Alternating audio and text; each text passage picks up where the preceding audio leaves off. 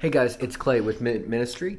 I've been thinking about it, and a lot of times I know that people want to lay out fleeces, but they don't really want to talk to donkeys. Got a minute?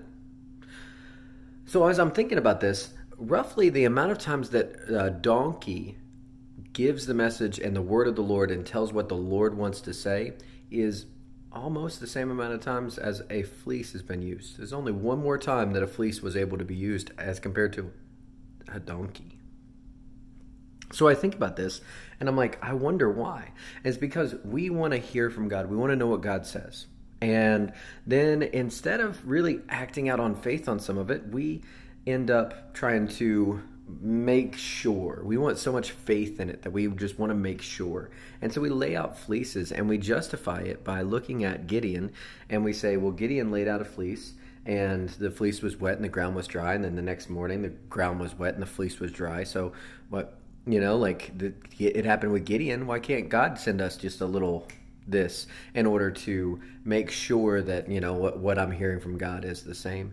And one of the things about gideon is he was about to set up a whole army and it would have been a suicide mission for not just him but thousands of people if god wasn't behind it thing might not have even gotten off the ground. It was a huge ordeal.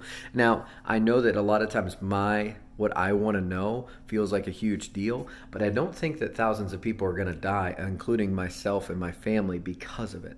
So, that being said, well, let's give him a little bit of slack.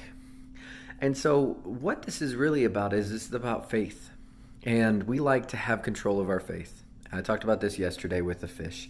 So, I want us to just think about this.